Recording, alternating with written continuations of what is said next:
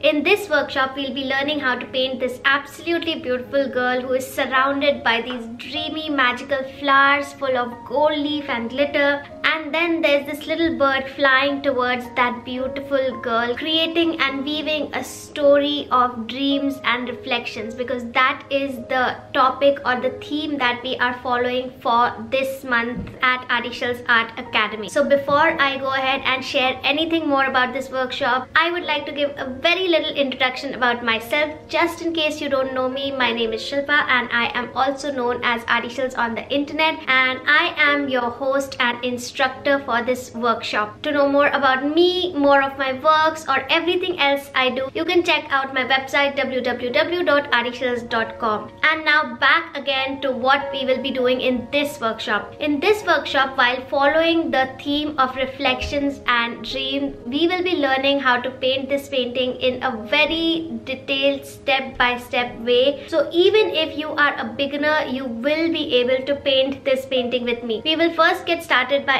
understanding all the techniques that we'll be using in this painting and then we will move on to learning the basics of drawing that we will need for this painting and then slowly step by step we will be creating this entire acrylic painting and mixed media on canvas where we'll be using so many different not only acrylic painting techniques but various mixed media techniques as well to get the results that we want. In the end you will be left with a lot of knowledge about the entire process, all the techniques that we've used, how we used and how to apply those techniques on any of your paintings. But in the end you will also be left with this absolutely gorgeous painting that you will love displaying either in your homes or you can just gift it to your loved ones or your friends.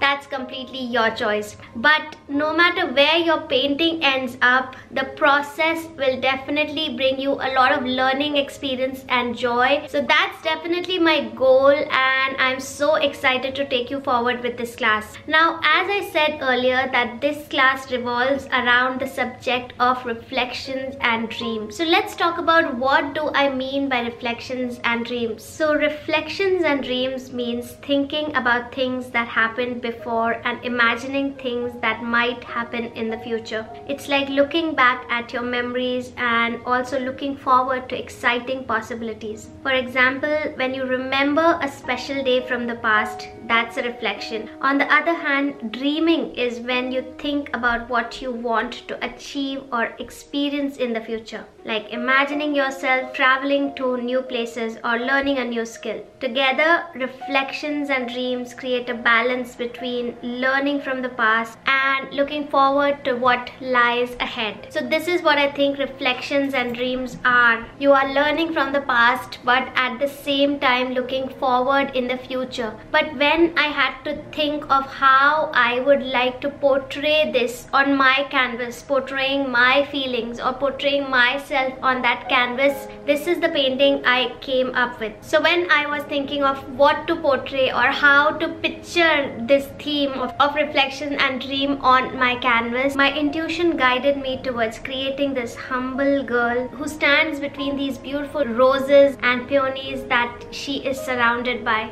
And as she is between these beautiful flowers. A bird gracefully glides toward her. She feels this very strong emotion like a mix of gratitude and hope. And she also feels her vulnerable emotions. Surrounded by the fragrant flowers, she recognizes that there is beauty in simple things and strength found in humility the flight of the bird resembles the reminder that dreams need not be grand to be meaningful. So while she's standing in this deeply emotional space, she embraces the idea that even the most delicate aspiration or even the most littlest of dreams take flight. They don't have to be really big, they don't have to be extraordinary. If you believe in something, let your inner heart take a flight towards that humble dream. And you know, trying to capture this emotion really filled me with inspiration and made me believe looking in my past, reflecting in my past, how it was just the small steps and the humble dreams that have taken me forward. And instead of just crushing myself or just overthinking about the big things that I need to achieve. Just, you know, look at these small things in the future and then just step by step keep moving forward with my own authentic self. So yeah, this was my little interpretation of reflections and dreams and it was important for me to tell you this story so that you can know how I am connecting the theme that I'm choosing to create a picture that I believe in on the canvas and to create my story story on the canvas and speak my story on the canvas without using any words. Now this was my interpretation of the canvas. The viewer who is looking at the canvas, if I don't tell them the description, they can just imagine their own story. They can have their own connection that they can feel through this painting. That connection that anybody feels through the work that I am creating, it's totally very personal to them and it's totally fine. But this was my story that I was thinking of, that I was trying to reflect on this canvas. So when you are also creating your own painting and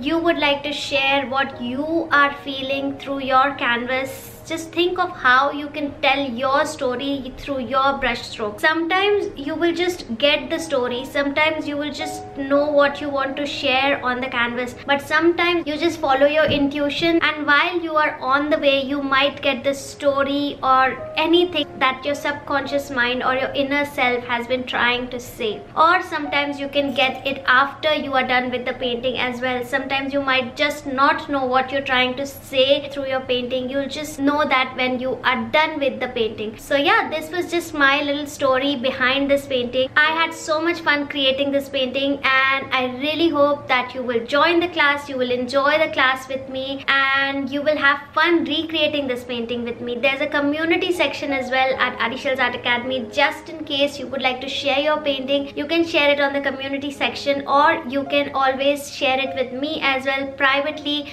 maybe on Instagram or you can email me or there's a contact button on my website as well just in case you want to share privately. But while you are working on this workshop if you have any questions or if you need any help i'm always there to answer your questions and help you out. So with that being said thank you so much. I will see you there in this class. So till i see you next time bye and happy creating. Bye